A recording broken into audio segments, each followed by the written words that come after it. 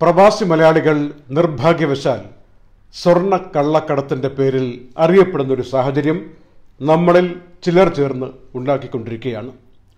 കഴിഞ്ഞ രണ്ട് ദിവസത്തിനിടയിൽ കേരളത്തിലെ വിവിധ എയർപോർട്ടുകളിൽ നിന്നായി ചാർട്ടേഡ് ഫ്ലൈറ്റുകളിൽ പോയ ആളുകൾ ആറുപേർ ഏറ്റവും ചുരുങ്ങിയത് ഇതുമായി ബന്ധപ്പെട്ട് പിടിയിലായിട്ടുണ്ട്. പിടിയിലാകാതെ പോയവർ എത്രയെന്നുള്ള കണക്കില്ല. ഇത് കുറച്ച് നാൾ ഒരു രണ്ട് മൂന്ന് മാസം ഫ്ലൈറ്റുകൾ ഇല്ലാതിരിക്കുകയും പെട്ടെന്ന് ഫ്ലൈറ്റുകൾ വരികയും ചെയ്തപ്പോൾ ഈ മുഖം മറച്ചും അകലം പാലിച്ചും പോകുന്ന സാഹചര്യത്തെ മുതലെടുത്തുകൊണ്ട് ഒരു ഉദ്യോഗസ്ഥനും അടുത്തു വന്ന് സൂക്ഷ്മമായി പരിശോധിക്കില്ല എന്നൊക്കെ കരുതിക്കൊണ്ട് സ്ത്രീ പുരുഷ ഭേദമന്യേ കള്ളക്കടത്ത് നടത്തുന്നു എന്നതിന്റെ വ്യക്തമായ ഉദാഹരണങ്ങൾ കിട്ടിയിരിക്കുകയാണ്. നാട്ടിൽ നിന്ന് വീണ്ടും ഈ പ്രവാസികളൊക്കെ എങ്ങനെ കള്ളക്കടത്തുകാരാണ് സ്വർണം കൊണ്ടുവരാൻ വേണ്ടിയാണ് ചാർട്ടേഡ് ഫ്ലൈറ്റുകളിൽ കയറി വരുന്നത് എന്നൊക്കെ പറഞ്ഞുകൊണ്ട് മുന്നോട്ട് വരാനുള്ള ഒരു സാധ്യത നമ്മൾ കാണണം. മൊത്തം പ്രവാസികൾക്ക് പേരുദോഷം ഉണ്ടാക്കാൻ സാധ്യതയുള്ള ചില ആളുകളുടെ കുൽസിത തന്ത്രമാണ്. ഇതിന്റെ ഏർപ്പാടുകൾ ഇതിന്റെ ഗവേഷണമൊക്കെ നടക്കുന്നത് ലോകോത്തരമായ രീതിയിലാണ്. നാൾ ഇതുവരെ കണ്ട രൂപത്തിലൊന്നുമല്ല ഓരോരുത്തരും കൊണ്ടുപോകുന്നത്. ബെൽറ്റിന്റെ ബക്കിൾ അതങ്ങനെ തന്നെ സ്വർണമാക്കും ഷൂസിൽ അഞ്ഞൂറ് ഗ്രാം സ്വർണം വെച്ച് പിടിപ്പിക്കും. നമ്മൾ കരുതും സാധാരണ ഷൂസ് ഇട്ടുകൊണ്ട് പോകുന്നു തിളങ്ങുന്ന മിനുങ്ങുന്ന ഒരു സ്ത്രീ ചെയ്തത് അതാണ് സ്ത്രീ പുരുഷ ഭേദമന്യേ എന്ന് പറഞ്ഞ ഒരു സ്ത്രീ ചെയ്തത് അവർ അവരുടെ ശരീരത്തിനുള്ളിൽ ഒളിപ്പിച്ചിട്ട് മാലിന്യങ്ങൾ പുരട്ടി സ്വർണത്തെ പേസ്റ്റാക്കി ഒളിപ്പിച്ചുകൊണ്ട് പോയിരിക്കുകയാണ്. അത് കണ്ടുപിടിക്കാൻ പ്രയാസമെന്നാണ് ഉദ്യോഗസ്ഥർ പറയുന്നത്. അങ്ങനെ സ്വർണത്തെ പേസ്റ്റാക്കി വെച്ചാൽ അതുപോലെ പേസ്റ്റിന്റെ ട്യൂബിനകത്ത് സ്വർണം കൊണ്ടുപോകുന്നു. ഇങ്ങനെ എന്തെല്ലാം ടെക്നിക്കുകൾ ശരീരഭാഗങ്ങളിൽ പലയിടങ്ങളിലും ഒളിപ്പിച്ചു വയ്ക്കുന്നു സാധാരണ കണ്ടുപിടിക്കാൻ പറ്റാത്ത വിധത്തിൽ ആളുകൾ ഗവേഷണം നടത്തിയിട്ടാണ് പുതിയ രൂപത്തിൽ ഈ സ്വർണക്കടത്ത് നടത്തിക്കൊണ്ടിരിക്കുന്നത്. ഈത്തപ്പഴത്തിനുള്ളിൽ അതിന്റെ കുരു പോലെ സ്വർണം വച്ചിരിക്കും. ഇത് എങ്ങനെ ഉണ്ടാക്കി ശ്രമകരമായി ഇത് ആരുടെ ബുദ്ധിയിലുണ്ടായി വരുന്നത് എന്നറിയില്ല. Sausage chicken sausage. അതിനകത്ത് സ്വർണം ഒളിപ്പിച്ചിട്ടാണ് കൊണ്ടുപോകുന്നത്. ഇങ്ങനെയുള്ള അതിനൂതന മാർഗം നമ്മൾ ഇതുവരെ കേട്ടിട്ടില്ലാത്ത രൂപത്തിൽ നമ്മുടെ നാട്ടിലേക്ക് പല ഗൾഫ് മേഖലയിൽ നിന്നും സ്വർണം കൊണ്ടുപോവുകയാണ്. നാട്ടിൽ സ്വർണത്തിന് വലിയ വില കൂടുതലാണ് എന്നറിഞ്ഞതുകൊണ്ട്. ഒരു കിലോഗ്രാം അങ്ങനെ കൊണ്ടുപോയാൽ ഏതാണ്ട് ഇരുപത്തിനാലായിരത്തിലധികം ദർഹത്തിന്റെ ടാക്സ് വെട്ടിക്കാൻ പറ്റുമത്രേ. ആ ഇരുപത്തിനാലായിരത്തിൽ ഈ കൊണ്ടുപോകുന്നയാൾക്ക് അല്ലെങ്കിൽ ആ സംഘത്തിന് കിട്ടുന്നത് കാരിയർ എന്ന് പറയുന്ന സംഘത്തിന് കൊടുക്കുന്നത് പത്ത് ശതമാനമാണ്. രണ്ടായിരത്തി നാനൂറ് ഏകദേശ കണക്കാണ് ഞങ്ങൾക്ക് കിട്ടിയ. അതാകണമെന്നില്ല. ചിലർ വിലപേശിയിട്ട് കൂടുതൽ ചോദിക്കാം. സാധാരണ ഒരു പാവപ്പെട്ടവൻ ടിക്കറ്റ് ഇല്ലാതെ ബുദ്ധിമുട്ടുമ്പോൾ അവനെ സമീപിച്ചിട്ട് നിനക്ക് ടിക്കറ്റ് വേണമല്ലേ? ഞങ്ങൾ തരാം. ഇത് കൊണ്ടുപോയാൽ മതി. എന്ന് പറഞ്ഞുകൊണ്ട് ചില ആളുകൾ വശീകരിച്ച് കൊണ്ടുപോകുന്ന ഇരകളാക്കപ്പെടുന്ന ആളുകളുണ്ട്. പുറത്തൊരാൾ കാത്തു നിൽക്കും. അദ്ദേഹത്തിന് കൊടുത്താൽ മതി. ഈത്തപ്പഴമാണ്. അദ്ദേഹത്തിന്റെ ഭാര്യ അവിടെ ഗർഭിണിയാണ്. കൊടുക്കാൻ വേണ്ടിയാണ് ഈത്തപ്പഴം കിട്ടിയില്ലെങ്കിൽ ബുദ്ധിമുട്ടാണ് എന്നൊക്കെ പറഞ്ഞ് തെറ്റിദ്ധരിപ്പിച്ചു കൊണ്ടുപോകുന്ന കേസുകളും ഇക്കൂട്ടത്തിൽ വരികയാണ്. പേസ്റ്റിന്റെ രൂപത്തിലാണ് ഇപ്പോൾ കൂടുതലായിട്ട് പോകുന്നത് എന്ന് തിരിച്ചറിഞ്ഞിരിക്കുക. ഈ പത്ത് ശതമാനം ഇങ്ങനെ കൊണ്ടുപോകുന്ന കാരിയർ സംഘത്തിന് ഏൽപ്പിക്കുന്ന സംഘത്തിനും കൊണ്ടുപോകുന്ന ആൾക്കും കൂടി കിട്ടുമ്പോൾ അതിൽ തന്നെ ഒരു ആയിരത്തോളം ദർഹം ടിക്കറ്റിന് വേണമെന്ന് കൂട്ടിക്കുള്ളൂ ബാക്കി ആയിരത്തി നാനൂറാണ് ഏൽപ്പിക്കുന്ന ആളിനുള്ളത്. പിന്നെ ഒരു പത്ത് ശതമാനം നാട്ടിൽ പറഞ്ഞു കേൾക്കുന്ന കഥ കറക്റ്റാണെങ്കിൽ നാട്ടിൽ എയർപോർട്ടുകളിൽ ചില ഉദ്യോഗസ്ഥന്മാർ റാക്കറ്റ് പോലെ പ്രവർത്തിച്ചിട്ട് ഒത്താശ ചെയ്തു കൊടുത്തിട്ട് ഈ പത്ത് ശതമാനം തട്ടും എന്നാണ് പറയുന്നത്. ഇങ്ങനെയൊക്കെയുള്ളൊരു വലിയ റാക്കറ്റ് ഇതിന്റെ പിന്നിൽ പ്രവർത്തിക്കുകയും അതിന്റെ പേരിൽ പിടിക്കപ്പെട്ട വാർത്ത വരികയും മലയാളികളുടെ പേരിൽ പ്രവാസികൾ ഇപ്പോൾ വരുന്നത് ഇതിനു വേണ്ടിയാണെന്നൊക്കെയുള്ള രൂപത്തിലേക്ക് വരികയും ചെയ്യുകയാണ്. വളരെ അത്യാവശ്യപ്പെട്ടൊരു കാര്യമുണ്ട്. ഇത് കേൾക്കുന്ന കാണുന്ന ആർക്കെങ്കിലും സഹായിക്കാൻ പറ്റുമെങ്കിൽ ചെയ്യേണ്ടുന്നൊരു വിഷയമാണ്. കാശിന്റെ കാര്യമൊന്നുമല്ല. അതിനപ്പുറമുള്ളൊരു വിഷയമാണ്. ഒരു വലിയ ജീവകാരുണ്യപരമായ ഇടപെടൽ ആവശ്യമാണ്. ഒരു നാൽപ്പത്തിമൂന്ന് വയസ്സുള്ള എഞ്ചിനീയർ ഇപ്പോൾ അർദ്ധബോധാവസ്ഥയിൽ ഐ സിയുവിൽ കഴിയുകയാണ് ദുബായിൽ. അദ്ദേഹത്തെ നാട്ടിൽ കൊണ്ടുപോയാലേ തുടർ ചികിത്സ നടത്താൻ പറ്റുള്ളൂ. അദ്ദേഹത്തിന്റെ സഹോദരിയാണ് വിവരം ഞങ്ങൾക്ക് അറിയിച്ചതും അദ്ദേഹത്തിന്റെ സഹോദരിയുടെ നമ്പർ ഇവിടെ തന്നിട്ടുണ്ട്. വിഷയം എന്താണെന്ന് വെച്ചാൽ ഒപ്പം പോകാൻ രണ്ടു പേർ വേണം. അതിന്റെ സാഹചര്യം ഉണ്ടായത് എത്രയോ നാളത്തെ കാത്തിരിപ്പിന് ശേഷം നാൽപ്പത്തിരണ്ട് ദിവസമായി ആശുപത്രിയിൽ അബോധാവസ്ഥയിൽ കിടക്കുകയാണ്. പക്ഷേ യാത്ര ചെയ്യാൻ പറ്റും എന്നുള്ളൊരു ഫിറ്റ്നസ് കിട്ടിയിരിക്കുന്നത് ഇപ്പോഴാണ്. യാത്ര ചെയ്യേണ്ടത് ഇരുപത്തിയേഴാം തീയതിയാണ്. ഇന്ന് ഇരുപത്തിനാലായി. പക്ഷേ ഒരു ഡോക്ടറും ഒരു നഴ്സും വേണം. ആരെങ്കിലും അവധിക്ക് നാട്ടിൽ പോകാൻ നിൽക്കുന്ന ഡോക്ടറോ നഴ്സോ ഉണ്ടോ? അതല്ലെങ്കിൽ ഇവിടെ ജോലി അന്വേഷിച്ചോ മറ്റോ വന്നിട്ട് എം ഒ എച്ച് ഒന്നും വേണമെന്നില്ല. ക്വാളിഫൈഡ് ആയിട്ടുള്ള ഐ സിയുവിൽ നിന്ന് ഏതെങ്കിലും രാജ്യത്ത് ഐ സിയുവിൽ നിന്ന് പരിചയമുള്ള ഒരു ഡോക്ടർ മതി. നാട്ടിലേക്ക് പോകാൻ കൊച്ചിയിലേക്ക് പോകാൻ ആഗ്രഹിച്ചിരിക്കുന്ന ഏതെങ്കിലും ഡോക്ടറോ നഴ്സോ നിങ്ങളുടെ പരിചയത്തിലുണ്ടെങ്കിൽ ഡോക്ടറും നഴ്സും വേണമെന്നുള്ളത് മനസ്സിലാക്കുക. ഒരാൾ മാത്രം പോരാ. അങ്ങനെയുള്ള ഒരാൾ രണ്ടു പേരുണ്ടെങ്കിൽ ഈ ഒരു വാട്സപ്പ് നമ്പറിൽ ഒരു ആശ്വാസ വാക്ക് പറഞ്ഞോളൂ. എമിറേറ്റ്സിലാണ് കൊണ്ടുപോകാൻ വേണ്ടി ഇപ്പോൾ തീരുമാനമായിരിക്കുന്നത്. എല്ലാം ശരിയായി. ഇത്രയും നാളത്തെ കാത്തിരിപ്പാണ് നാൽപ്പത്തിരണ്ട് ദിവസത്തെ അബോധാവസ്ഥയിൽ യാത്ര ചെയ്യിപ്പിക്കാൻ പറ്റുന്ന സാഹചര്യമായി എങ്കിലും പ്രോട്ടോകോൾ അനുസരിച്ചിട്ട് രണ്ടു പേർ വേണം ഒരു ഡോക്ടർ ഒരു nurse. Zero five zero two five nine two nine three two. ഈ നമ്പറിലേക്ക് വാട്സപ്പിലേക്ക് അയച്ചിട്ട് സന്നദ്ധത അറിയിച്ചാൽ അല്ലെങ്കിൽ നിങ്ങളുടെ പരിചയത്തിൽ ആരെങ്കിലും ഉണ്ടെങ്കിൽ ഒന്ന് ഷെയർ ചെയ്യിപ്പിച്ചിട്ട് ഇനി രണ്ട് ദിവസമേ അവശേഷിക്കുന്നുള്ളൂ. മൂന്നാമത്തെ ദിവസം യാത്രയാണ്. അത് നഷ്ടപ്പെട്ടാൽ ഇദ്ദേഹത്തിന് പോകാൻ കഴിയില്ല എന്ന കാര്യം ഉറപ്പാണ്. ഇത് എത്രയോ നാളത്തെ കാത്തിരിപ്പിന്റെ പ്രാർത്ഥനയുടെ ഒരു ഫലമാണ് ഇദ്ദേഹത്തിനെ കൊച്ചിയിലേക്ക് കൊണ്ടുപോകാൻ വേണ്ടി. കോട്ടയം മെഡിക്കൽ കോളേജ് ഇദ്ദേഹത്തിന്റെ അസുഖവും കാര്യങ്ങളും ഒക്കെ അറിഞ്ഞിട്ട് അഡ്മിറ്റ് ചെയ്യാമെന്ന് സമ്മതിച്ചിട്ടുണ്ട്. എത്രയും വേഗം അവിടെ എത്തിക്കണം. ഇവിടെ നിന്ന് കൊണ്ടുപോകാൻ എമിറേറ്റ്സ് സമ്മതിച്ചിട്ടുണ്ട്. കോൺസുലേറ്റ് ഇടപെട്ടിട്ടുണ്ട്. പക്ഷേ ഈ രണ്ട് പേർ വേണം. ആരെങ്കിലും ഇത് കേൾക്കുന്നവർ കാണുന്നവർ ആരെങ്കിലും അറിയിച്ചിട്ട് ഒന്ന് കൊണ്ടുവരാൻ പറ്റുമോ എന്ന് നോക്കൂ. Zero five zero two five nine two nine three two. ഇരുന്നൂറ്റി അമ്പത്തൊമ്പത് ഇരുപത്തൊമ്പത് മുപ്പത്തിരണ്ട്. ഈ വാട്സപ്പിലേക്കൊന്ന് സന്ദേശം അയച്ചാൽ ഒരു വലിയ വേദനയുടെ പര്യവസാനം ഉണ്ടാക്കുന്നതിൽ പങ്കാളികളാവുന്നു നമ്മൾ എന്ന ആശ്വാസം എത്തിച്ചേരാൻ പറ്റും. ടിക്കറ്റ് എടുക്കാൻ ആരും കാശൊന്നും മുടക്കേണ്ടതില്ല. അതെല്ലാം പലർ കൂടി സഹായിച്ചിട്ട് എല്ലാം ശരിയായിട്ടുണ്ട്. ഈ ആളുകളെ മാത്രമേ വേണ്ടൂ.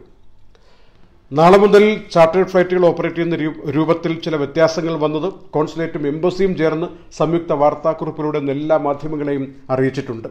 ഇനി മുതൽ ചാർട്ടേഡ് ഫ്ലൈറ്റുകൾ ഓപ്പറേറ്റ് ചെയ്യാൻ വേണ്ടി തയ്യാറെടുക്കുന്ന സംഘടനകളോ വ്യക്തികളോ സ്ഥാപനങ്ങളോ ആർക്ക് വേണോ ചെയ്യാം അവർ നേരെ ഒരു വിമാന കമ്പനിയുമായി ടൈപ്പ് ഉണ്ടാക്കുക. ആ വിമാന കമ്പനി ആരൊക്കെ പോകുന്നു എന്നുള്ളതിന്റെ ലിസ്റ്റ് സംസ്ഥാന ഗവൺമെന്റുകൾക്ക് അയച്ചു കൊടുക്കണം. നമ്മുടെ കാര്യം പറഞ്ഞാൽ നമ്മുടെ മുഖ്യമന്ത്രിയുടെ ഓഫീസിലേക്ക് നോർക്കയിലേക്ക് അയച്ചു കൊടുക്കണം. അവിടെ നോക്കിയിട്ട് ക്വാറന്റൈൻ കാര്യങ്ങളും ബാക്കി എല്ലാ സൗകര്യങ്ങളും ഉണ്ട് എന്ന് ഉറപ്പുവരുത്തി കഴിഞ്ഞാൽ ഒരു ക്ലിയറൻസ് കിട്ടും. ഈ അയക്കുന്ന കൂട്ടത്തിൽ പാസഞ്ചർ ലിസ്റ്റും ഏത് എയർപോർട്ടാണെന്നുള്ള കാര്യങ്ങളും ആ പ്രോട്ടോകോൾ മുഴുവനും എംബസിയിലേക്കോ കോൺസുലേറ്റിലേക്കോ കൊടുക്കുകയും വേണം. രണ്ട് കോപ്പി തയ്യാറാക്കി വെക്കണം അല്ലെങ്കിൽ രണ്ടു പേർക്കായിട്ട് ഇമെയിൽ അയക്കണം എന്നർത്ഥം. സംസ്ഥാന സർക്കാരിന്റെ ക്ലിയറൻസ് കിട്ടിക്കഴിഞ്ഞാൽ പിന്നീട് പിന്നീട് അതെല്ലാമായി എന്നുള്ള രൂപത്തിലാണ് ആ സമയം കൊണ്ട് ഈ ലിസ്റ്റ് കോൺസുലേറ്റോ എംബസിയോ ഒന്ന് വെരിഫൈ ചെയ്യും. അത് കഴിഞ്ഞിട്ട് എംബസിയുടെ അല്ലെങ്കിൽ കോൺസുലേറ്റിന്റെ ക്ലിയറൻസ് കിട്ടും. സംസ്ഥാന ഗവൺമെന്റിന്റെ ക്ലിയറൻസ് എത്ര പേർക്ക് എത്ര കൊടുക്കണം എത്ര ഫ്ലൈറ്റ് ഓപ്പറേറ്റ് ചെയ്യണം എത്ര പേരെ കൊണ്ടുവരണം ഇതൊക്കെ തീരുമാനിക്കേണ്ട സംസ്ഥാന ഗവൺമെന്റാണ് ഇത്ര നാളും മിനിസ്ട്രി ഓഫ് എക്സ്റ്റേണൽ അഫയേഴ്സ് ആയിരുന്നു. വിദേശകാര്യ വകുപ്പായിരുന്നു ഇന്ത്യയിൽ തീരുമാനിച്ചത്. ഇനി എം ഇ എക്ക് അതിൽ റോഡില്ല അപ്പോൾ സംസ്ഥാന ഗവൺമെന്റ് ക്ലിയറൻസ് എംബസിയുടെ അല്ലെങ്കിൽ കോൺസുലേറ്റിന്റെ ക്ലിയറൻസ്. ഇത് രണ്ടും കിട്ടിക്കഴിഞ്ഞാൽ ഡൽഹിയിൽ D G C A civil ഏവിയേഷനിൽ apply ചെയ്യാം. ഫ്ലൈറ്റ് ക്ലിയറൻസിന് വേണ്ടി. അതും കിട്ടിക്കഴിഞ്ഞാൽ വീണ്ടും ദുബായിൽ അല്ലെങ്കിൽ യു എയിൽ വന്നിട്ട് ഫോറിൻ അഫയേഴ്സിന്റെ അപ്രൂവൽ കിട്ടി യാത്ര കൊണ്ടുപോകാൻ പറ്റും. എല്ലാവിധ മുൻകരുതൽ നടപടികളും സ്വീകരിച്ചുകൊണ്ട് കൊണ്ടുപോകാം. അപ്പോൾ ഇതിൽ എംബസിക്കും നാമമാത്രമായ റോളേ ഉള്ളൂ. എങ്കിലും എംബസിയുടെ അപ്രൂവൽ ഇതിനകത്ത് വേണം.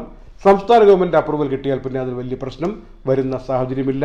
ഉത്തരവാദിത്വം മുഴുവനും സംസ്ഥാന ഗവൺമെന്റിനാണ്. അതുകൊണ്ട് ഫ്ലൈറ്റ് കമ്പനികൾ ഇനി നേരിട്ട് സംസ്ഥാന ഗവൺമെന്റുകൾക്ക് അയക്കുന്ന രീതിയാണ് നാളെ മുതൽ പ്രാബല്യത്തിൽ വരുന്നത്. അതുകൊണ്ട് കൊണ്ടുപോകാൻ ഉദ്ദേശിക്കുന്നവർ ഏതെങ്കിലും ഒരു എ ടി ഒ എന്ന് പറയുന്ന air traffic operator air transport operator അവർക്ക് അപേക്ഷ കൊടുക്കും. ഒരു വിമാന കമ്പനിക്ക്. ആ കമ്പനിയുമായി നെഗോഷിയേറ്റ് ചെയ്യൂ. എന്നിട്ട് അവരെ കൊണ്ട് അപ്ലൈ ചെയ്യിപ്പിക്കൂ. ഒരുപക്ഷെ വ്യക്തികൾക്ക് പോലും അത് ഓപ്പറേറ്റ് ചെയ്യിപ്പിക്കാൻ പറ്റുന്ന സാഹചര്യമാണ് ഇനി വരുന്നത്. കുറച്ചുകൂടി എളുപ്പത്തിലേക്ക് വരും. ഒരുപാട് ഒരുപാട് വിളികൾ വേണ്ട. ഇതുവരെയുള്ള ചുവപ്പ് നാടകൾ പലതും കുറയും. പലർക്കും കോൺസുലേറ്റിൽ എംബസിയിൽ ഒന്ന് വിളിച്ച് പരിശോധിക്കാൻ പോലും പറ്റുന്നില്ലല്ലോ എന്ന കാര്യങ്ങളൊക്കെ വരും. നമ്മുടെ സംസ്ഥാന ഗവൺമെന്റാണ് ഉത്തരവാദിത്തം എടുക്കേണ്ടത് എന്നുള്ള സാഹചര്യം. അതുപോലെ പി പി കിറ്റുകളാണ് മറ്റു പല രാജ്യങ്ങൾക്കും. Saudi Arabia Oman Bahrain Kuwait അടക്കമുള്ള രാജ്യങ്ങൾക്ക് നാളെ മുതൽ പി പി കിറ്റ് അതായത് വ്യക്തി സംരക്ഷണ എക്യുപ്മെന്റ് എന്ന് പറയാം. പേഴ്സണൽ പ്രൊട്ടക്റ്റീവ് എക്യുപ്മെന്റ് ഇത് രണ്ടായിരത്തി പതിനാലിൽ എബോള ശക്തമായപ്പോൾ ആഫ്രിക്കൻ രാജ്യങ്ങളിൽ അവതരിപ്പിച്ച കാര്യമാണ്. അപ്പോഴാണ് ലോകം മുഴുവൻ ഈ പി പി ഇ കിറ്റിനെ കുറിച്ച് അറിയുന്നത്. എൻ നയന്റി ഫൈവ് കാറ്റഗറിയിൽപ്പെട്ട മാസ്ക് ഒക്കെ ധരിക്കണമെന്നാണ്. അതല്ലെങ്കിലും കുഴപ്പമില്ല എന്ന് മുഖ്യമന്ത്രി പറഞ്ഞിട്ടുണ്ട്. അതുകൊണ്ട് തന്നെ പി പി കിറ്റ് ധരിച്ചുകൊണ്ടാണ് ഇനി യാത്രക്കാർ നാളെ മുതൽ പോകേണ്ടത്. യു എയിൽ നിന്നുള്ളവർക്ക് ഇപ്പോഴുള്ള റാപ്പിഡ് ടെസ്റ്റ് മതി. ഖത്തറിൽ നിന്നുള്ളവർക്ക് ഒരു ആപ്പ് ഉപയോഗിച്ചുകൊണ്ട് ഗ്രീൻ സിഗ്നൽ നോക്കിയിട്ടാണ് വിടുന്നത് ബാക്കി നാല് രാജ്യങ്ങളിൽ നിന്നും പി പി കിറ്റ് ഈ കിറ്റ് കൊടുക്കേണ്ടത് വിമാന കമ്പനികളാണെന്ന് പറഞ്ഞിട്ടുണ്ട്. അതും കൂടി പാസഞ്ചറുടെ കയ്യിൽ നിന്ന് കാശ് വാങ്ങാമെന്നാരും ധരിക്കരുത്. അതൊന്നും പറഞ്ഞ് പി പി ഫീ എന്ന് പറഞ്ഞ് പുതിയ ഫീ വരേണ്ട കാര്യമില്ല. അതിൽ ഈ കൊടുക്കുന്ന ചാർജിൽ ഉൾപ്പെടുത്തിക്കൊണ്ട് വിമാന കമ്പനികൾ തന്നെ നടത്തണം എന്ന കാര്യം പോലും സംസ്ഥാന സർക്കാർ ഇപ്പോൾ വ്യക്തമാക്കിയിട്ടുണ്ട്. പിന്നെ ജലദോഷം പനി തൊണ്ടവേദന തുമ്മൽ ഇങ്ങനെയുള്ള പ്രാഥമികമായ ലക്ഷണങ്ങൾ അധികരിച്ചുകൊണ്ടാണ് എയർപോർട്ടിൽ എത്തുന്നതെങ്കിൽ അത് പരിശോധിച്ചിട്ട് മാത്രമേ അങ്ങോട്ട് കേട്ടുള്ളൂ മറ്റുള്ള രാജ്യങ്ങളിൽ നിന്നും. അതിലിനി പരാതി പറഞ്ഞിട്ട് കാര്യമില്ല എന്നതുകൂടി ഓർമ്മിപ്പിച്ചിട്ടുണ്ട്. കഴിഞ്ഞ ദിവസം മരണമടഞ്ഞ കണ്ണൂർ സ്വദേശി അജിത് തയ്യിൽ പതിനാറാമത്തെ നിലയിൽ നിന്ന് താഴേക്ക് വീട് മരിച്ച് ഏതായാലും ഫോറൻസിക് ഡിപ്പാർട്ട്മെന്റിന്റെ കയ്യിലാണ് ഇപ്പോൾ റിപ്പോർട്ട്. നാളെ ബന്ധുക്കൾക്ക് കിട്ടും എന്ന് കരുതുന്നു. ബന്ധുക്കൾ എന്ന് പറയുമ്പോൾ രക്തബന്ധുക്കൾ പോയി ഏറ്റുവാങ്ങണം അടുത്ത ബന്ധുക്കൾ. ഏറ്റുവാങ്ങി കഴിഞ്ഞിട്ട് പിന്നീട് മൃതദേഹം ഇവിടെ സംസ്കരിക്കണോ നാട്ടിലേക്ക് കൊണ്ടുപോകണോ ഞങ്ങൾക്ക് കിട്ടിയ വിവരമനുസരിച്ച് നാട്ടിലേക്ക് കൊണ്ടുപോകുന്നില്ല. ഇവിടെ തന്നെ അടക്കം ചെയ്യാനാണ് തീരുമാനിക്കുന്നത് കുടുംബം എന്നറിയുന്നു. വ്യക്തമായിട്ടില്ല. നാളെ ഈ ഫോറൻസിക് റിപ്പോർട്ട് കിട്ടിക്കഴിഞ്ഞ ശേഷമായിരിക്കും അന്തിമ തീരുമാനം ഇതുമായി ബന്ധപ്പെട്ട് വരിക. ഏതായാലും ദൗർഭാഗ്യകരമായ സംഭവമെന്ന് മൊത്തം മലയാളികളും പറയുന്ന ഒരു കാര്യമായി മാറിപ്പോയി. നാട്ടിലേക്ക് ഇനി കൊണ്ടുപോയാൽ അദ്ദേഹത്തിന്റെ ഈ കൊണ്ടുപോകുന്ന ആളുകളും മറ്റുമൊക്കെ ഇവിടുത്തെ ബിസിനസ് എല്ലാം പിന്നെ തകരാറിലാവും വേണ്ടപ്പെട്ട ബന്ധുക്കളെല്ലാം പോവുകയാണ്.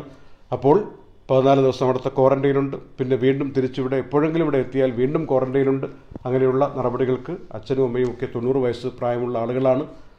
അങ്ങനെ സാഹചര്യത്തിൽ മിക്കവാറും ഇവിടെ തന്നെ അടക്കം ചെയ്യുമെന്ന രൂപത്തിലാണ് ഞങ്ങൾക്ക് കിട്ടിയിരിക്കുന്ന സൂചന.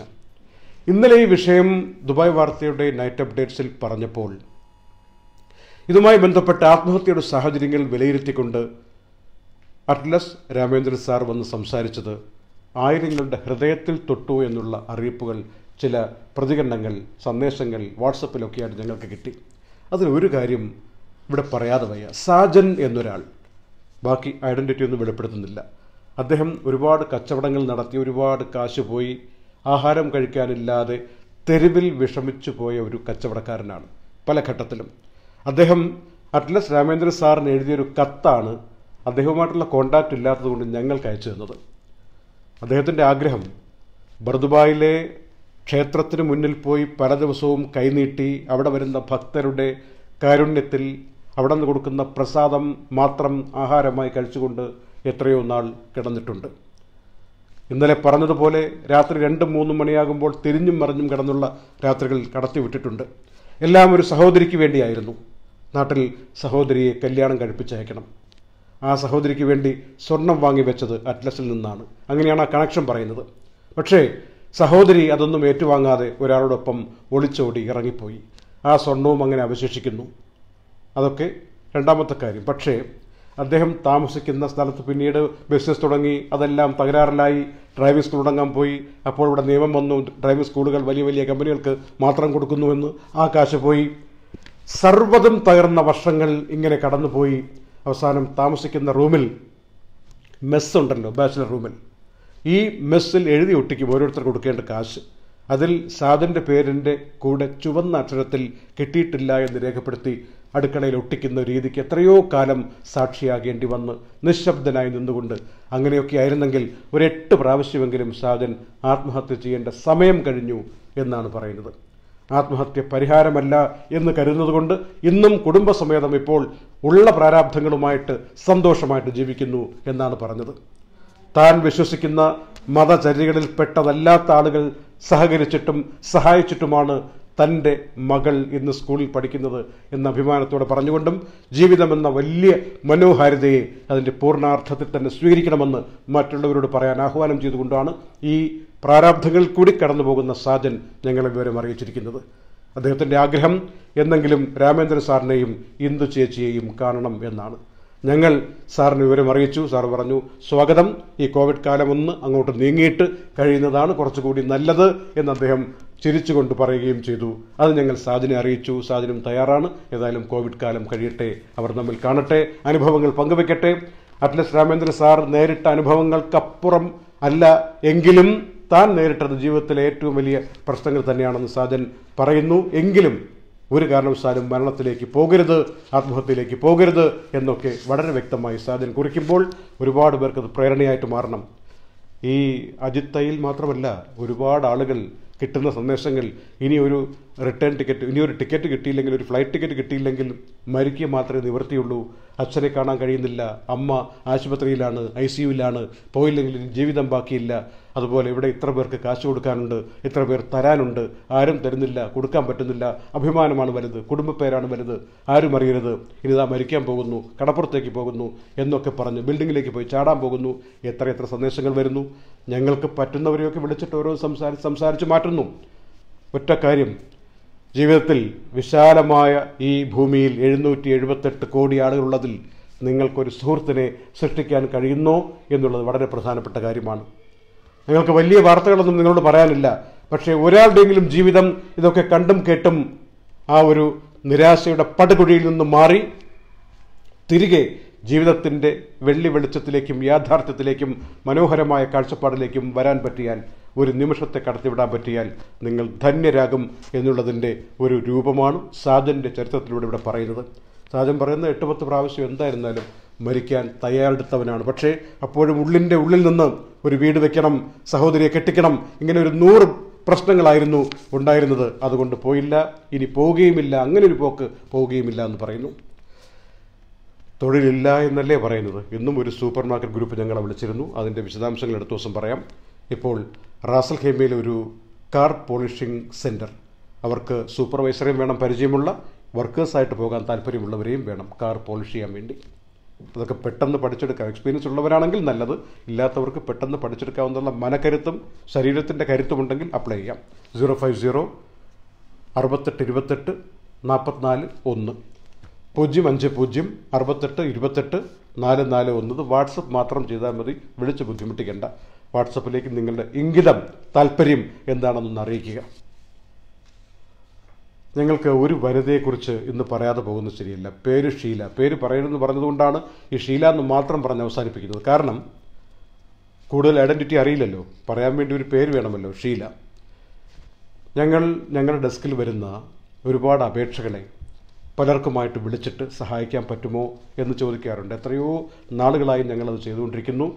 ചിലർ സഹായിക്കും ചിലർ പറയും ഇപ്പോൾ പറ്റില്ല. പിന്നെ എന്ന് പറയും. അങ്ങനെ ഒരുപാട് പേർക്ക് ടിക്കറ്റ് കാശ് മറ്റ് സൗകര്യങ്ങളൊക്കെ ചെയ്തു കൊടുക്കാനുള്ള അവസരവും ഭാഗ്യവും ഞങ്ങൾക്ക് ഒരു ചെറിയ മാധ്യമം രൂപത്തിൽ കിട്ടുന്നുണ്ട്. അത് വെച്ചുകൊണ്ട് തന്നെ ഒരു കാര്യം പറഞ്ഞു. ഷീലയോട് ഞങ്ങൾ വിളിച്ചു പറഞ്ഞു. ഞങ്ങൾ ഇങ്ങോട്ട് വിളിച്ചു പറഞ്ഞതാണ്. ആരെങ്കിലും അത്യാവശ്യക്കാർ ഡിസർവിംഗ് ആണെന്ന് നിങ്ങൾക്ക് തോന്നുന്ന ഒരാളെ കൊണ്ടുവന്ന് ഞാനൊരു ടിക്കറ്റ് കൊടുത്തേക്കാം. കാരണം ഞാൻ നാട്ടിൽ പോകുന്നില്ല. പോകാനിരുന്നതാണ്. ആ ടിക്കറ്റിന്റെ കാശ് ഒരാൾക്ക് കൊടുക്കാം. അല്ല സമ്പന്ന ആയതുകൊണ്ടൊന്നുമല്ല മനസ്സുകൊണ്ട് സമ്പന്നയാണ് ഷീല. അങ്ങനെ ഒരാളെ ഞങ്ങൾ ഐഡന്റിഫൈ ചെയ്ത് കൊടുത്തു. അവരെ തമ്മിൽ കണക്ട് ചെയ്ത് കൊടുത്തു. അവരുടെ കഥയും അദ്ദേഹത്തിന്റെ കഥയും കാര്യങ്ങളും കേട്ടപ്പോൾ ഷീല ഞങ്ങളെ വിളിച്ച് ചോദിക്കുകയാണ്. ഞാനൊരു ഇരുന്നൂറ്റമ്പത് ദർഹം കൂടി അധികം കൊടുത്തോട്ടെ? എന്താണ് കാരണം? ഞങ്ങളെപ്പോഴും പറയുക ടിക്കറ്റിന്റെ കാശ് എത്രയാണോ അത് മാത്രം കൊടുക്കുക. ഓരോരുത്തർക്കും സഹായിക്കാനുള്ളതാണ്. അടുത്തൊരു അമ്പതുണ്ടെങ്കിൽ മറ്റൊരാളെ സഹായിക്കാമല്ലോ. ഇങ്ങനെ പറയുന്ന ഒരു സമീപനമാണ് ദുബായ് വാർത്ത എടുക്കാറ്. അത്യാവശ്യം എന്താണ് ഒരാൾക്ക് വേണ്ടത് കൊടുക്കുക. അപ്പോൾ ഷീല പറയുന്നു ഞാൻ ഇരുന്നൂറ്റമ്പത് രൂപ കൊടുത്തോട്ടെ. അദ്ദേഹത്തിന്റെ കഥ കാര്യങ്ങൾ കേൾക്കുമ്പോൾ അദ്ദേഹത്തിന്റെ നാട്ടിലെ അവസ്ഥ അച്ഛൻ ആശുപത്രിയിൽ എല്ലാം ഞങ്ങളും പഠിച്ചു. ഒരു ഇരുന്നൂറ്റമ്പത് കൊടുത്ത് എന്തെങ്കിലും ഒരു സാധനം വാങ്ങിക്കൊണ്ട് പോട്ടെ അല്ലെങ്കിൽ അതൊരു അയ്യായിരം രൂപ നാട്ടിൽ ആശുപത്രിയിൽ കെട്ടാൻ വേണ്ടി മരുന്ന് വാങ്ങാൻ വേണ്ടി ഉപകരിച്ചോട്ടെ. നിങ്ങൾ സമ്മതം തന്നാൽ ഞാൻ കൊടുക്കാമെന്ന് പറഞ്ഞുകൊണ്ട് ഇങ്ങോട്ട് പറഞ്ഞ ഷീലയെ ഞങ്ങൾ എങ്ങനെ ഇവിടെ മെൻഷൻ ചെയ്യാതിരിക്കും? ഇത് എത്രയോ പേർക്ക് വളരെ ആവേശകരമായ ഒരു മാതൃകയായിട്ട് മാറണം. മനസ്സറിഞ്ഞ് കണ്ടറിഞ്ഞ് എന്തെങ്കിലുമൊക്കെ കൊടുക്കാനുള്ള കൊടുത്താൽ മാത്രമേ നമുക്ക് വരുള്ളൂ എന്ന് തീരുമാനിച്ചു കൊണ്ട് പോകുന്ന ശീലന്മാരെ നമുക്ക് ആവശ്യമുണ്ട്. ഇതിനിടയിൽ അന്താരാഷ്ട്ര നാണയനിധി പേടിപ്പിക്കുന്ന റിപ്പോർട്ട് പുറത്തിറക്കിയിട്ടുണ്ട്. ആരും പേടിച്ചു പോകരുത്. എങ്കിലും അറിയാൻ വേണ്ടി പറയുന്നതാണ്. ഇപ്പോൾ പറഞ്ഞു വരുന്നത് പന്ത്രണ്ട് ലക്ഷം കോടി ഡോളർ. ഇതിന്റെ രൂപയിലൊക്കെ സമയം കിട്ടുമ്പോൾ കൺവെർട്ട് ചെയ്ത് കൊടുക്കുക. പന്ത്രണ്ട് ലക്ഷം കോടി ഡോളർ. ഈ കൊറോണ കാരണം വലിയ വലിയ സാമ്പത്തിക ശക്തികൾക്ക് ഇടിവ് വന്നിരിക്കുകയാണ് നഷ്ടം വന്നിരിക്കുകയാണ്. ഇതെപ്പോൾ റിക്കവറി ആകുമെന്നറിയില്ല എന്ന് ഐ എഫ് ഐ എം എഫിന്റെ സ്റ്റേറ്റ്മെന്റ് പുറത്തു വന്നിരിക്കുകയാണ്. അത് അമേരിക്കയ്ക്കും വലിയ ക്ഷീണമുണ്ട് ഏഷ്യയ്ക്കുണ്ട് യൂറോപ്പിനുണ്ട് എല്ലാ മേഖലയ്ക്കുമുണ്ട്. വിചാരിച്ചതിനേക്കാൾ ഒരുപാട് കരുതി വച്ചിരുന്ന ശതമാനത്തിന്റെയൊക്കെ കുറവിലേക്ക് ഇടിവിലേക്ക് വരികയാണ്. അതെല്ലാവരെയും ബാധിക്കും. അടുത്ത വർഷം പകുതിയായാലേ ഇതിൽ നിന്ന് മോചനം ഉണ്ടാവുകയുള്ളൂ. കഴിഞ്ഞ മാസം കരുതിയതല്ല ഇപ്പോൾ കരുതുന്നത് എന്ന് പറഞ്ഞുകൊണ്ടാണ് ഐ എം എഫ് പറഞ്ഞിരിക്കുന്നത്. അങ്ങനെ ഇന്ന് ഐ എം എഫിന്റെ ഈ പ്രസ്താവന കേട്ട് ലോകം മുഴുവനും പേടിച്ചിരിക്കുകയാണ്. ഇത് പറഞ്ഞതാരെന്നറിയുമ്പോൾ നമുക്ക് കുറച്ച് ആഹ്ലാദവും അതുപോലെ ഒരുപക്ഷെ നിരാശയൊക്കെ ഉണ്ടാവും. നിരാശ ഉണ്ടാവുന്ന കാര്യം ഇങ്ങനെയുള്ള മലയാളികളും ഈ തലപ്പത്തുണ്ടല്ലോ. ഗീത ഗോപിനാഥ് അറിയാമല്ലോ? ഐ എം എഫിന്റെ അന്താരാഷ്ട്ര നാണയനിധിയുടെ ചീഫ് എക്കണോമിസ്റ്റാണ്. ഇൻഡോ അമേരിക്കൻ വനിത എന്ന് നമുക്ക് പറയാം. നമ്മുടെ കണ്ണൂരുള്ള ഗീത ഗോപിനാഥ്. ഇപ്പോൾ ഗോപിനാഥിന്റെയും വിജയലക്ഷ്മിയുടെയും മകൾ ലോകത്തിന് മുന്നിൽ ഏറ്റവും വലിയ ചീഫ് എക്കണോമിസ്റ്റായി നിൽക്കുകയാണ്.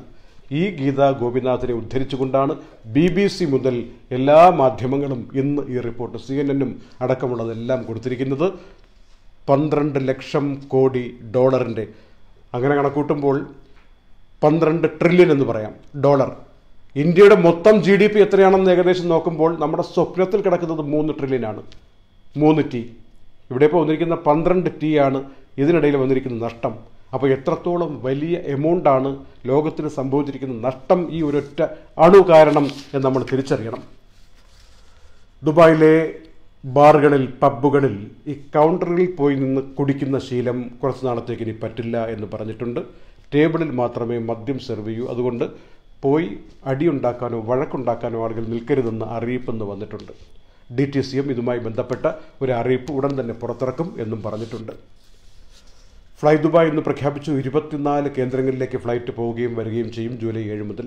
അങ്ങനെ ഓരോ സ്ഥലങ്ങളിലേക്ക് ഓരോ കമ്പനികൾ വരികയാണ്. പക്ഷേ ഇന്ത്യയില്ല ഇന്ത്യയിൽ നിന്ന് അനുമതി കൊടുത്താലേ അങ്ങനെ പോകാൻ പറ്റൂ. മുഖ്യമന്ത്രി ആവശ്യപ്പെട്ടിട്ടുണ്ട് കേന്ദ്രത്തോട്. കുറച്ച് ആളുകളെ കയറ്റി അയക്കാൻ വേണ്ടി തീരുമാനമെടുക്കൂ. ഒന്നും പറഞ്ഞിട്ടില്ല ആ വിഷയത്തിൽ കേന്ദ്രം. മൗനമാണ് ഇതുവരെ പാലിക്കുന്നത്. ആളുകൾ പോകാൻ വേണ്ടി തയ്യാറെടുത്ത് നിൽക്കുന്നു. ഇവിടെ നിന്നാണെങ്കിൽ ഏത് രാജ്യത്ത് നിന്ന് പെർമിഷൻ കിട്ടുമോ അവിടേക്ക് പോയി കൊണ്ടുവരാൻ തയ്യാറായിട്ട് വിമാന കമ്പനികൾ നിൽക്കുന്നു. ആളുകൾ വന്നു തുടങ്ങി പക്ഷേ ഇന്ത്യയിൽ നിന്ന് ഇതുവരെ പെർമിറ്റ് അതിനുവേണ്ടി ലാൻഡ് ചെയ്യാൻ കൊടുത്തിട്ടില്ല. കാര്യം ഗൗരവത്തിൽ പരിഗണിക്കേണ്ട വിഷയമാണ്. ഒരുപാട് കമ്പനികളൊക്കെ നടത്തുന്ന ആളുകൾ നാട്ടിൽ കുടുങ്ങിക്കിടപ്പാണ്. അവർക്ക് തിരിച്ചു വന്നില്ലെങ്കിൽ അവരുടെ കമ്പനികൾ തന്നെ അവതാളത്തിലാകുമെന്ന മട്ടിൽ പല സ്ഥാപനങ്ങളിലും പല ജീവനക്കാരും നമ്മൾ വിചാരിക്കുന്നത് പോലെ മാന്യമായിട്ടല്ല. ഒരു ഗൃഹനാഥൻ കമ്പനിനാഥൻ ഉള്ളപ്പോഴും ഇല്ലാത്തപ്പോഴും ചില ജീവനക്കാർ കീ പൊസിഷനിലിരിക്കുന്ന ജീവനക്കാർ പെരുമാറുന്നതെന്ന് ചില ആളുകളുടെ അനുഭവങ്ങളിൽ നിന്നെങ്കിൽ നമ്മൾ മനസ്സിലാക്കണം. ചില കമ്പനികളിൽ അങ്ങനെയല്ല. ഒരു സിസ്റ്റം വർക്ക് ചെയ്യും. ചില കമ്പനികളിൽ അങ്ങനെയല്ല. മറിച്ച് ചില വ്യക്തികളെ ആശ്രയിച്ച് കാര്യങ്ങൾ മാറിക്കൊണ്ടിരിക്കും. അങ്ങനെയുള്ള ബുദ്ധിമുട്ട് നേരിടുന്ന നിരവധി കമ്പനി ഉടമകളുണ്ട്. ഒരുപക്ഷെ മുതലാളി ഉണ്ടെങ്കിൽ കൊടുക്കുന്ന ശമ്പളവും കാര്യങ്ങളും വേറെ അതിന്റെ കീഴ് ജീവനക്കാരൻ കൊടുക്കുന്ന ശമ്പളവും ആനുകൂല്യങ്ങളും വേറെ എന്ന രൂപത്തിലേക്ക് മാറിപ്പോകുന്ന അവസ്ഥ പലരും ഇവിടെ എഴുതി അയച്ചിട്ടുണ്ട്. ഏതായാലും ആളുകൾക്ക് തിരിച്ചു വന്നേ പറ്റൂ കേന്ദ്രം ഇക്കാര്യത്തിൽ അടിയന്തരമായ തീരുമാനമെടുത്തേ പറ്റൂ. എന്തുകൊണ്ടാണ് ഈ ആളുകളെ ഇങ്ങോട്ട് കൊണ്ടുവരാൻ വേണ്ടി അനുമതി കൊടുക്കാത്തത് എന്ന് മനസ്സിലാകുന്നില്ല. എല്ലാവരും എങ്ങനെയെങ്കിലും എവിടേക്കെങ്കിലും പൊയ്ക്കോട്ടെ എന്ന് പറയുമ്പോൾ നമ്മുടെ ഇന്ത്യയിൽ നിന്ന് ആരെയും കൊണ്ടുപോകണ്ട എന്ന് പറഞ്ഞിരിക്കുന്ന ഒരു സമീപനം സ്വീകരിക്കുന്നതിന്റെ ലോജിക് സാധാരണ പ്രവാസികളായ നമുക്ക് മനസ്സിലാവുന്നില്ല. ഇനി കുറച്ച് ആളുകൾ ഇങ്ങോട്ട് പോന്നോട്ടെ. അതിന് തടസ്സം നിർത്തുന്ന ഘടകം എന്താണ്? എയർപോർട്ടിൽ പ്രവർത്തിക്കുന്നു. ഒരു ഇരുന്നൂറ് ഇരുന്നൂറ് ആൾക്കാർ വെച്ചിട്ട് ഓരോ ഫ്ലൈറ്റിൽ കയറി ഇങ്ങോട്ട് പോന്നോട്ടെ. ആ വിവരം അറിയിച്ചാൽ എന്താണ് കുഴപ്പം പറ്റുക? എവിടെയാണ് പ്രശ്നം പറ്റുക? ഏറ്റുവാങ്ങാൻ സ്വീകരിക്കാൻ യു എ തയ്യാറാണെങ്കിൽ. ഇപ്പോഴും മറ്റൊരു കണക്ക് പറയുന്നു.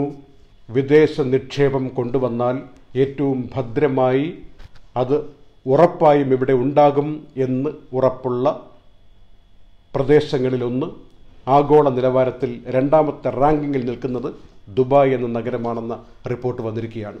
F D I.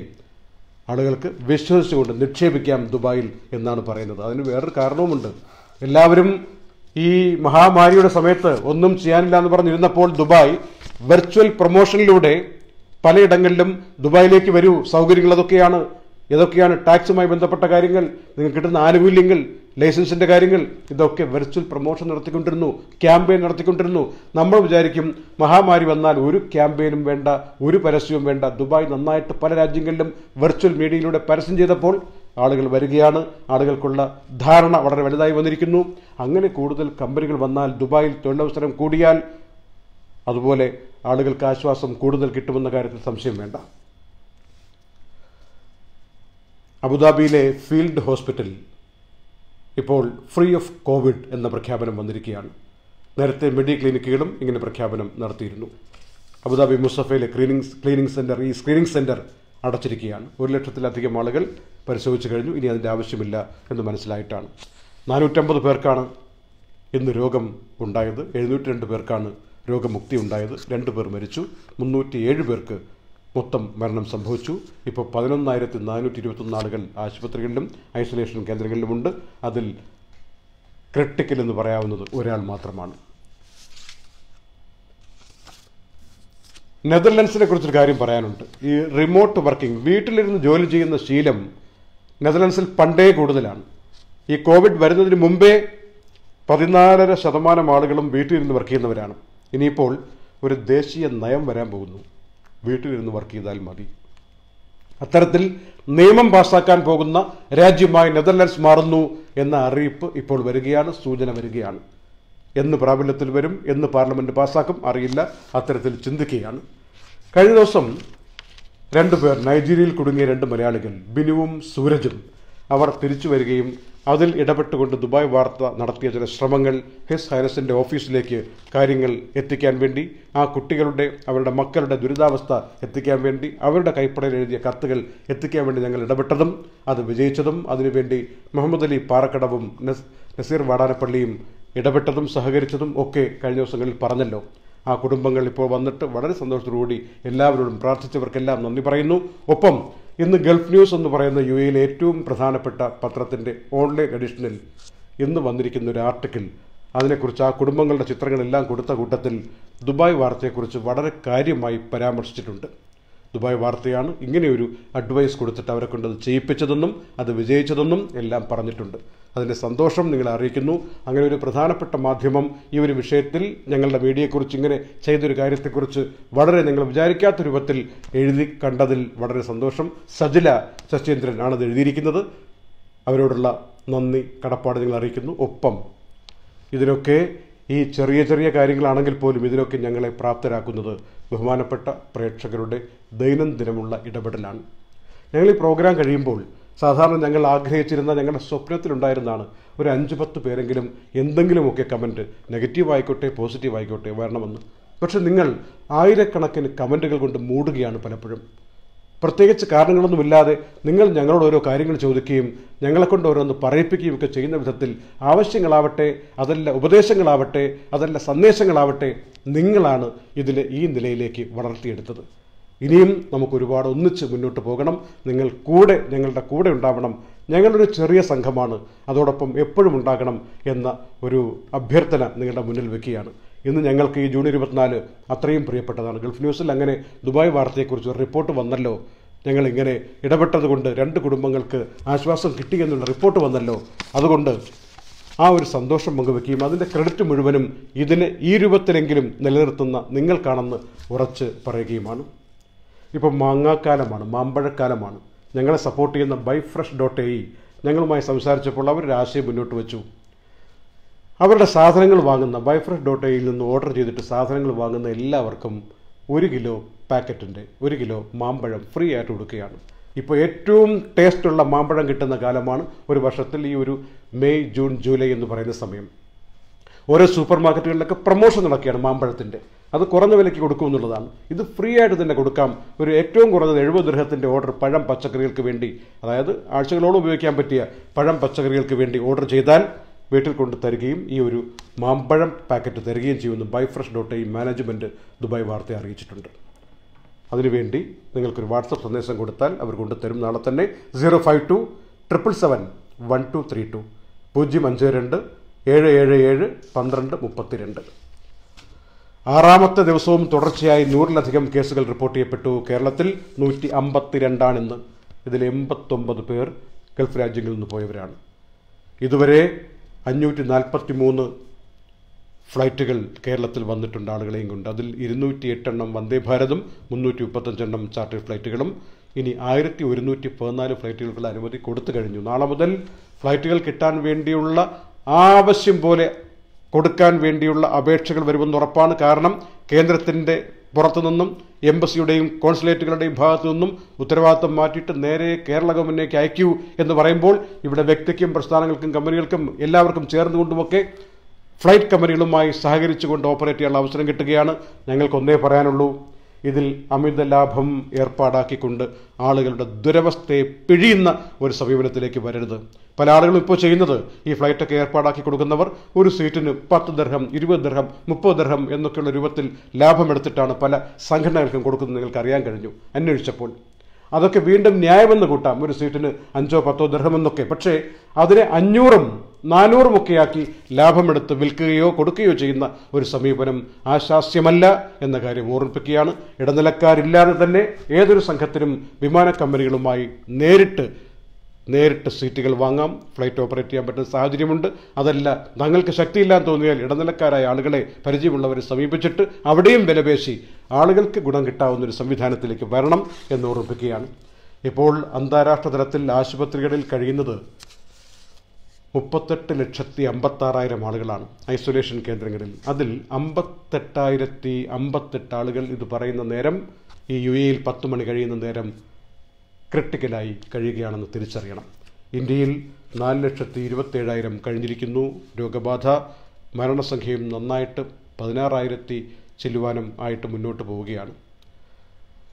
ഖത്തറിൽ ഇന്ന് അഞ്ച് മരണം സൗദി അറേബ്യയിൽ നാൽപ്പത്തൊന്ന് മരണം യു എയിൽ രണ്ട് നേരത്തെ പറഞ്ഞു കുവൈറ്റിൽ മൂന്ന് ഒമാനിൽ രണ്ടുപേർ ബഹ്റിനിൽ ഒരാൾ എന്നിങ്ങനെയുള്ള കണക്കാണ് ഞങ്ങൾക്ക് കിട്ടിയിരിക്കുന്നത്. കൂടുതൽ മരണസംഖ്യയില്ലാത്ത ദിനങ്ങൾ പുലരട്ടെ എന്ന ആശംസയോടെ നേരത്തെ പറഞ്ഞ ഒരു ഡോക്ടറും വേണം ഒരു നഴ്സും വേണം. അതിന്റെ നമ്പർ പറഞ്ഞിരുന്നു. ആർക്കെങ്കിലും അങ്ങനെ ഇരുപത്തേഴാം തീയതി എമിറേറ്റ്സിൽ കൊച്ചിയിലേക്ക് പോകാൻ കാത്തു നിൽക്കുന്നവരോ പോകാൻ സന്നദ്ധത അറിയിക്കുന്നവരോ ഉണ്ടെങ്കിൽ ദയവ് ചെയ്ത് ഒരു വലിയ കുടുംബത്തിന്റെ ജീവൻ രക്ഷപ്പെടുത്താൻ വേണ്ടി ആ ചെറുപ്പക്കാരന്റെ ജീവൻ രക്ഷപ്പെടുത്താൻ വേണ്ടിയുള്ള വിദഗ്ധ ചികിത്സയ്ക്ക് വേണ്ടി അക്കമ്പനി ചെയ്യാൻ വേണ്ടി മുന്നോട്ട് വരണമെന്ന് ഓർമ്മിപ്പിച്ചുകൊണ്ടാണ് ഇന്നത്തെ ജൂൺ ഇരുപത്തിനാലിന്റെ ഈ ഒരു ദുബായ് വാർത്താ നൈറ്റ് അപ്ഡേറ്റ് സമാപിക്കുന്നത്. നന്ദി നമസ്കാരം.